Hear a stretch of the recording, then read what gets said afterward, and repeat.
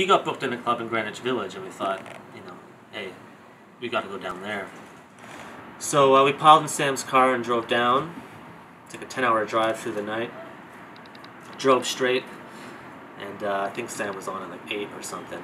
I don't know what it was. But we hit we hit Manhattan right at right at rush hour. And Suitcase isn't really a seasoned driver.